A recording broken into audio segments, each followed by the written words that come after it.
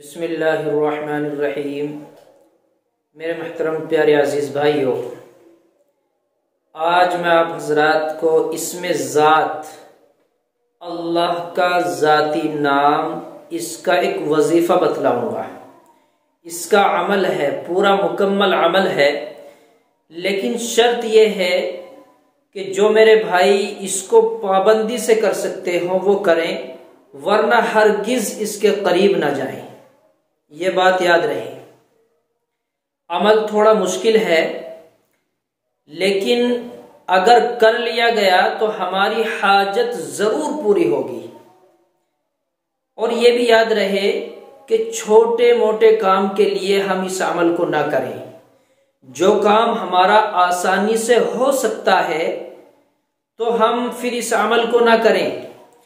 यह अमल उस वक्त हमें करना है जब हमें यह महसूस होने लगे कि हमारा काम ये होना नामुमकिन है।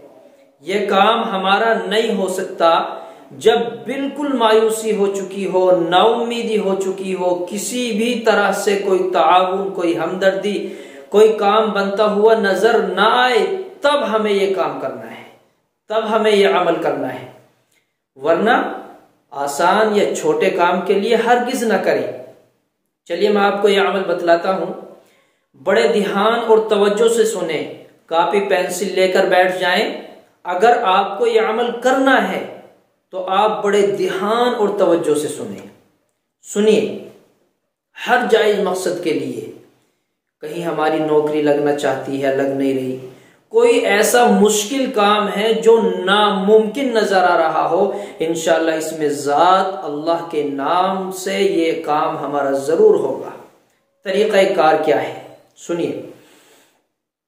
सबसे पहले, हमें अल्लाह के नाम को एक कागज़ पर लिखना है। और लिखना कितनी मरतबा है? एक लाख मर्तबा, एक लाख मर्तबा, एक लाख बार अल्लाह के नाम को कागज़ पर लिखना है।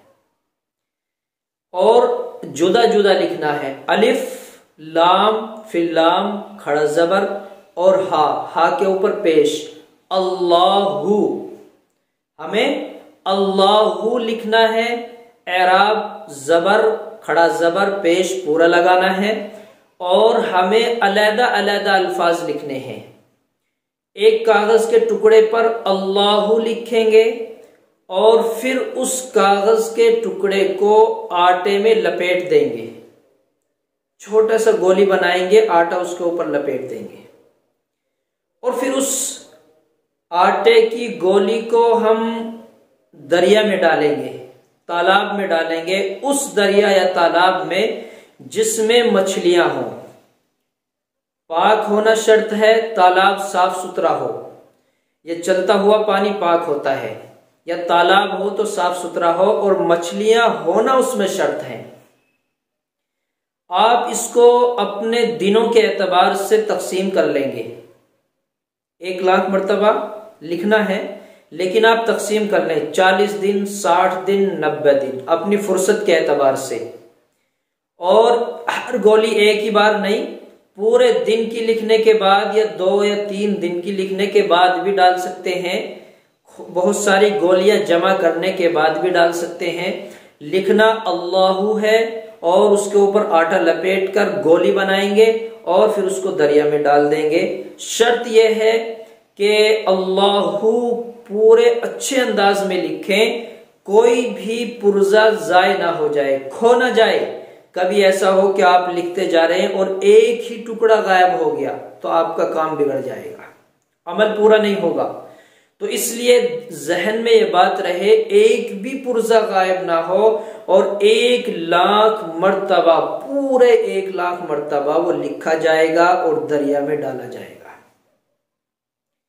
तो एक काम यह हुआ, जिस दिन से हम लिखना शुरू करेंगे, जिस दिन से लिखना शुरू करेंगे, उसी दिन से हम अल्लाह चार हज़ार चार सौ चवालीस मरतबा पढ़ेंगे।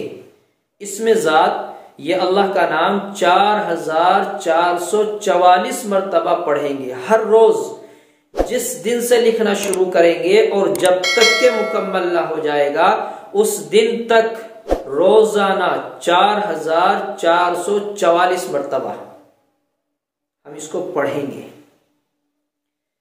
एक बार और सुने।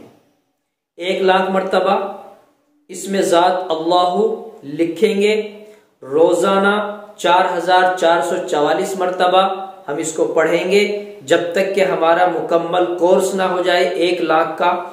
और जब कोर्स हो चुका होगा तो उसके बाद कोर्स पूरा होने के बाद हमें अपने मकसद के लिए दो रकात नमाज़ सलातुल हाजा पढ़ेंगे और फिर अपने मकसद की तरफ़ निकल जाएँगे।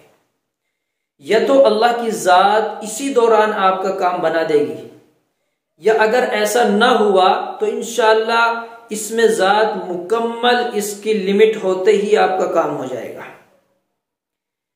शुरू करने की तारीख भी जहन में रखें। जब आफ्ताब अरूज पे हो, सबसे पहले पीर का दिन, अगर पीर के दिन शुरू नहीं कर सकते बुध का दिन बुध के दिन शुरू नहीं कर सकते तो जुमे का दिन।